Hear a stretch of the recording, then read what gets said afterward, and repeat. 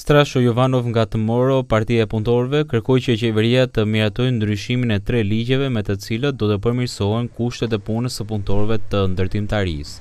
Ai kërkoi nga kryeministri Zaev të mbajë premtimin për koalicion me punëtorët, posaçërisht me punëtorët e ndërtimtarisë, që të rritet siguria nëpër objektet ku kryhen punë ndërtimore dhe në këtë mënyrë të parandalohen tragjeditë e shpeshta gjatë punës, siç ndodhi para një kohe të caktuar në Çair, ku humbën jetën dy punëtorë.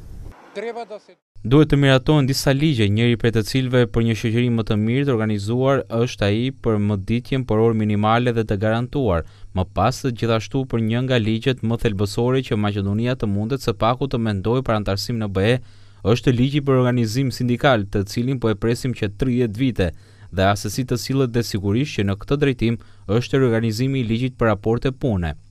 Anastas Trajkovski nga Sindikata e Pavarur e Ndërtimtarisë theksoi se punëtorët në ndërtimtari punojnë në shumë kushte të këqija dhe të pasigurta dhe se janë në objekte të hapura dhe pa mbrojtje, andaj dhe shpeshherë ndodhin fatkeqësi. Këtu është shumë rrezik që të punohet. Ka shumë raste që nuk janë prezentuar dhe ne nuk i dimë në opinion. Shumë njerëz kanë humbur jetë për shkak të arsyeve të ndryshme, rënien të materialit ndërtimor, mbështetësve direkt dhe ka shumë raste me pasoja vdekje. Sindikalistët theksojnë se ata i mbështesin të punësuarit e Eurokompozit, të cilët para pak kohe protestuan para qeverisë për shkak se nuk kanë marrë pagë disa muaj dhe nuk u janë paguar kontributet.